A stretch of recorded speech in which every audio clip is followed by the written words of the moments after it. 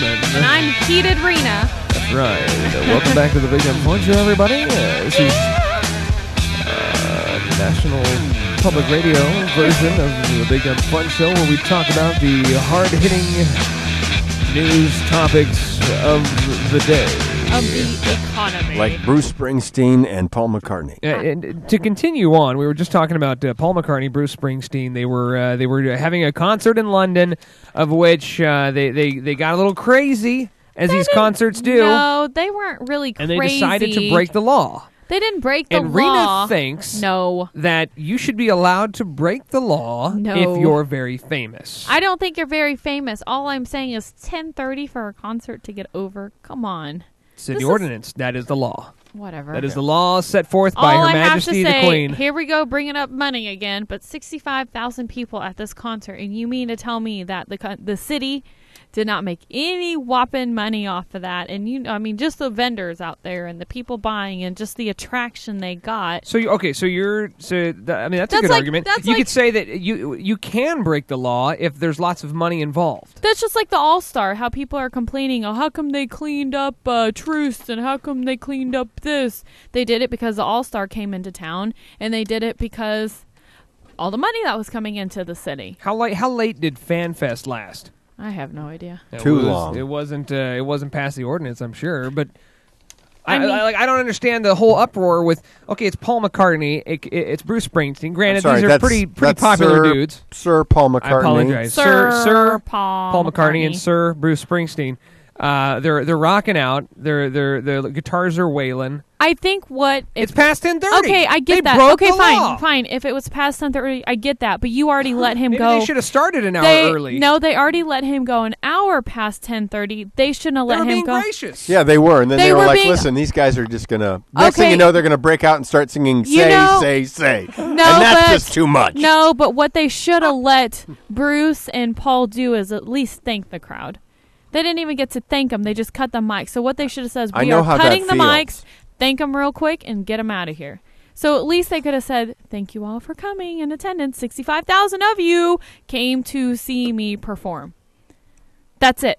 Just to They, they thank probably you. actually said that, but no one heard it because they had no amplification. Yeah. Well, tha- that's what I'm saying. Sometimes, though, you just have to- Darren's been, been been in places where if you have somebody that won't take the hint, you just got to turn the mic. I know, but they should have. I should at least gave them a chance to thank the crowd. like the crowd control, like whoever's running the running the concert, there that somebody was probably getting on them like, "Hey, you got to wrap this up. It's 10 it's like 10:40. You got to shut this off. We're going to get fined." And, And they're then- like and they're then like, "Hold on." that's and they're probably probably when- like giving notes like, "You got to wrap it up. Thank everybody." And that's they're when Bruce just pulls out. Paul McCartney out of the concert like Courteney Cox. yeah. And they sing a couple of songs. Fine. Do they dance? My in the opinion dark? is my opinion, and I think concerts getting over at ten thirty. It's pointless. What time did the concert start? Nine. I, I don't think know. I I'm think making that up. one thing we can learn, I think, i- i- is that there's really nobody to blame for all the crap that goes on in, in the country, county, city, state. There's there's nobody to blame except for ourselves. Like we're we have a system where we vote people in office, and if you don't like the 1030 ordinance, then you get a posse together, put it on the ballot, and let's And- vote to have it to 1130. Like and you tell me that's going to work. We all voted for Obama for all this change, and you tell me what has changed. Well, here's the deal. So you feel slighted because you voted for Obama, Mm-hmm. and he didn't change anything. Mm-hmm. Perfect. This is your opportunity for you to change that. Yeah, go, go ahead and vote for Mitt Romney. You know what Vote I want? and I bet there'll be a lot of changes. I Not wanna necessarily in your favor, but there'll be don't know. changes. I know. Like no health, national health care. Yeah. So there will be good changes. Healthcare. Are we going to talk healthcare? Again? No, no, no. I'm just saying that, that, that when you when you break it all down to like, uh, for instance, the uh, city workers getting uh, minimum wage, right? Mm-hmm. That is that is a, a, a policy that was decided on. I, I'm assuming a city council of some sort. Uh, it's not a mayor that said, "Ah, let them eat cake." You know, No, it was it was the mayor. It, it was a mayor that said that, Yeah, the right? mayor- okay, there. so if you're upset about that, you get that mayor out of there. You vote Well, somebody else in there. and I it's, it's as easy as that. It is easy as that, but at the same time, I'm just showing that I just this whole U.S. thing and the way that it is right now. I just think it's hurting the people so Mm-hmm. much, and just just like it goes back with, you know, if you buy a decent house that's within your budget and you're making so much money a year and then you have a kid and it's like it's like the way that US is is just you can't have kids, you might as well not get married, you might as well just eat ramen noodles for the rest of your life because it doesn't matter because all your money is going to go into bills. All, and it, it doesn't matter how much you save and how much you try and how hard you work. That's just the way it is right now. I think if there's anything, it's uh, that America has proven that if you if you work hard, you put your nose to the grindstone, and uh, you can anything is possible. That's why uh, William Hung it was singing uh, "Living La Vida Loca" on American Idol. Like they're like so much like so much stuff is possible in this country versus It's very others. possible, but it's possible that they were just doing that to make fun of him. That's true. but he ended up uh, laughing all the way to the bank because now he's like singing birthday parties Yeah, and getting well, you know hundred bucks a pop. Just just going back on healthcare. I mean, if uh, what was it like two months ago? I was complaining about it because I technically, if I were to get married and try for a kid, none of it under my individual health plan wouldn't have been covered until January first of 2014. Now I I got a job that allows me to have benefits through them, and now I have no, I just had to wait 31 days. But that wasn't have anything to do with Obama. Eh, no, it has nothing to do with Obama. But now that Obama's doing this health plan where you you have to have health insurance, Mm-hmm. I wouldn't have had that problem. Even though that doesn't pass until again 2014. Yeah. But now, you know, But- having but a being, kid being, being the devil's advocate, pre-existing. let's just say you had uh, your other job, or let's just say you had no insurance whatsoever, Like and me. you and you get knocked up. Say Gnirk gets knocked up right now. Mm-hmm. Nine months later, he's ready to deliver this child. It's coming out. It's coming out.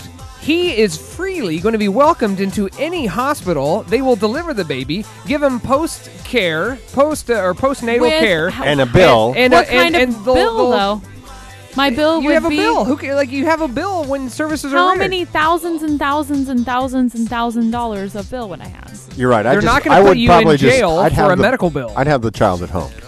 They're not going to put you in jail, but that's the, that's the point of having health insurance. So you aren't paying ten. Well, I mean, what if I have a bad pregnancy? Not a bad pregnancy, but what if I have a C-section, or what if I don't have a normal pregnancy? Nobody is going to turn you away. They're not going to turn me away. They're not going to sew you up and say, "Keep that baby in there." We're They're not, going to do it. They're not going to turn me away, but at the end of the day, the reason why I don't have health insurance if I was in that situation was because I couldn't afford it. So what makes you think I would afford a twenty thousand dollar bill? What are you going around getting knocked up for Yeah, think if you responsibly. don't I'm- have insurance? But I'm not. what do you think? You're black or something? Oh! I didn't say it. I didn't say it. I did not say that. A. that is over the line. I sir. will not be getting pregnant until I get married. And B. I've always paid my own health insurance. I think if th- if anything is going to be said racist on the show, really it's, me. It's me. your job. Yeah, I, and so this is super surprising. Gnirk did it. I did not say it. I did not say it. Hey guys, big thanks to Jason P. Hunt stopping by the big show, uh, talking Yes. about uh, Comic Cons and everything nerdy. Always like having him in studio. Comic Con uh, Carnies, also high for for me. taking some photos of the Big Dumb Fun Show crew, cast We and could crew. have a possible secret. we may be on the No, don't say it. yeah, you're gonna jinx it. You Cover. can't say it. Don't say it. Of the Rolling Stone. Yes. I always wanted to be on the cover of the Rolling No, you, Stone. Absolutely. you This can't is the- say I this. just didn't know This is just as Jason P. good. Hunt taking those pictures. Yeah. If I'd known that, I would have said yes to the guitar. So, all right, it's been a uh, whirlwind of a show. We uh, appreciate you tuning in. Make sure to tune in uh, same bat time, same bat channel next week, right here via BigDumbFunShow.com. Like our page, Facebook.com slash the Big Du- or Facebook.com slash Big Dumb Fun Show for all of Oh, our yeah. news and updates. At least 20% of you will reach them uh, throughout the week. So we very much thank you. Ross, thank you. Taking shots as well. And until next week, We we'll see ya. Wouldn't wanna wanna be ya. yeah.